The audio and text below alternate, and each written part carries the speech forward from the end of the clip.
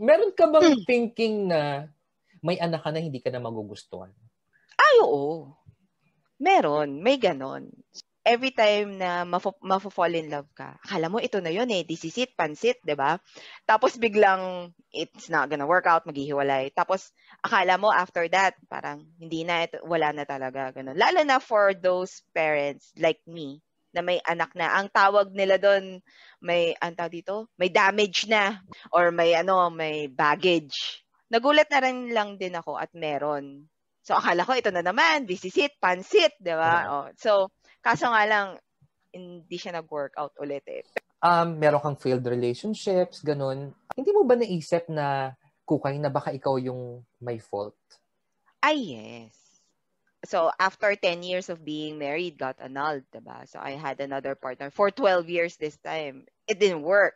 Mm-hmm. uh, we also had a child. Right now if you'd ask me kung you think ako yung inisip ko ako yung may fault yes. Kasi two failed relationships na yun eh. Na feeling ko naman I gave it my all. Malaki talaga yung impact sa akin yan.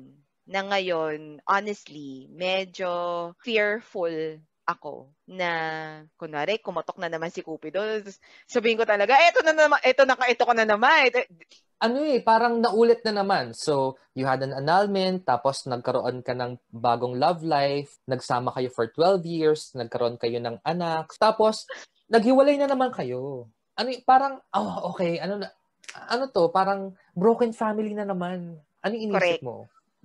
Pinaglaban ko kasi talaga yung last na partner ko eh kahit na alam ko na pader yung babanggain ko doon sa kabilang side kasi we were married eh. At that time, my ex-husband, even if we have been separated for a long time, may power siya eh, um, against me. Kasi hindi pa kami annulled at that time eh.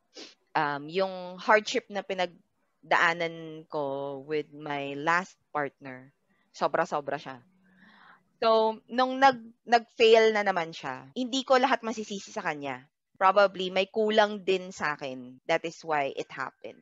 Maraming nahuhumaling sa kanya na kababaihan.